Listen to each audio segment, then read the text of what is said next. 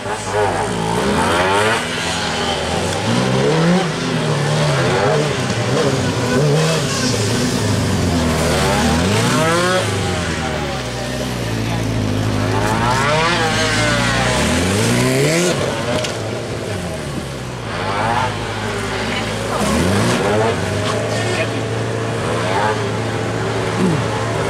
Bert weer onderuit gaat, moet ik dan Bert of de motor volgen?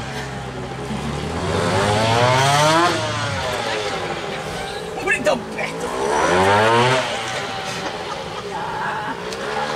Allebei.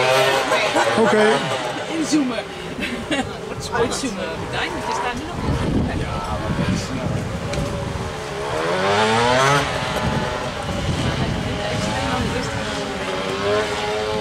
Kan wij nog wel hebben.